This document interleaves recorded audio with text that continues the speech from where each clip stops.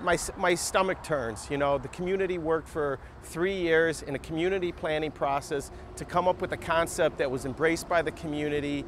Uh, we did this beautiful public art installation, and it's been up only a month and a half, and then somebody has to spew this nasty uh, graffiti all over it. We know who the tagger is.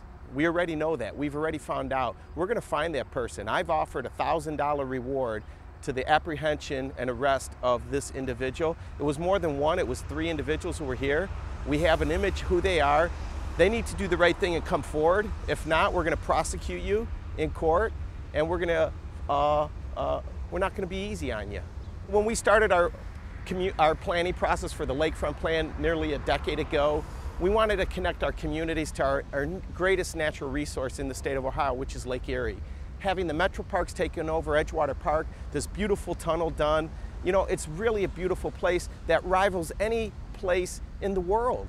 And to have irresponsible people come here and just spew nasty stuff on a wall is uh, unacceptable. The graffiti will be removed by the end of today. Uh, tonight by six o'clock, it will be all be gone. We have a color palette. We're gonna match the colors. It'll be removed. Uh, I will be installing video cameras down here. Residents are hot. And I will tell you, there are some who wanna take, uh, take this into their own hands, and I've encouraged them not to. The eyes of the community are on this tunnel, and uh, just lo and behold, and beware, if you try to do this again, we will catch you.